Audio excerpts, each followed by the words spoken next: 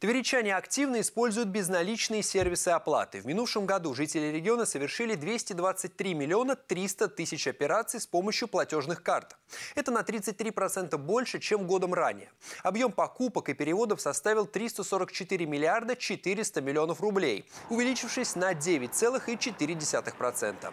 По данным Центробанка, на 1 января нашим землякам выдано около 2 миллионов 100 тысяч карт. Самые популярные операции по ним – оплата товаров и услуг. Совершено почти 202 миллиона транзакций на сумму более 142 миллиардов. Доля безналичных платежей составила 90,4%. А количество операций по снятию наличных в прошлом году снизилось почти на 16,5%. Кроме того, в регионе предпочитают безналичную оплату и в общественном транспорте – 60%. 40% поездок пассажиры оплачивают банковской картой или картой «Волга».